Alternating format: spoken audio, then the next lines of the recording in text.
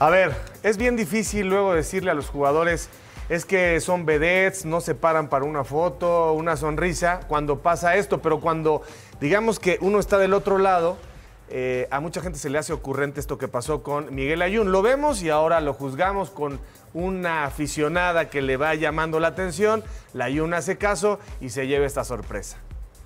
¡Layun! ¡A tu puta madre! Aquí veo a los cámaras riéndose. Ay, perdón. A Mira, Steph también. Es que no, está, está terrible. Me parece una falta. El ¿Qué hacemos respeto con nunca eso? se debe perder. Y ahora que estamos en un momento donde es tan importante la no Claro. violencia, la no violencia con las damas, eh, todas estas campañas, pues esto inhibe el respeto que se debe tener a todo ser humano, De más acuerdo. tratándose de una dama. Pero te voy a decir algo que me eh, recalca mi mamá desde que yo era niña. Para que te respeten, debes darte a respetar. ¿Por qué le pudo haber contestado Esta lo fresca mismo? que le dice esta señorita, la verdad está reprobable, pero la Jun me parece que de manera muy cordial, nada más como con una sonrisa se retira. La Jun actúa como un caballero cuando ella francamente no.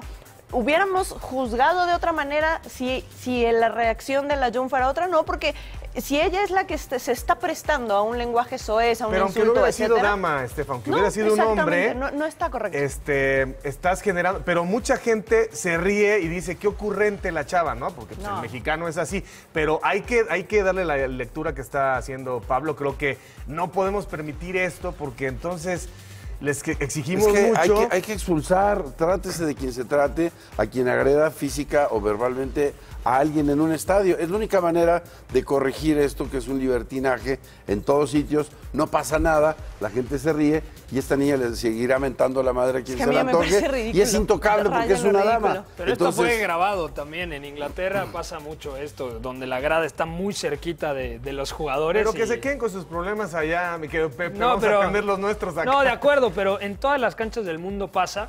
Pero no- no porque no hay que justificar, ni mucho menos. Pero ahora se maximiza porque se grabó y se, se viralizó. Hay a que expulsar a esa sociales. mujer del fútbol por lo menos un tiempo para que recapacite. Es la única manera, fuera las agresiones de todo tipo del fútbol. y de, y de la vida cotidiana en nuestro país, que, que bastantes cosas ya tenemos que sortear entre todos. Adrenalina, domingos 10 pm. Participa en Imagen Televisión.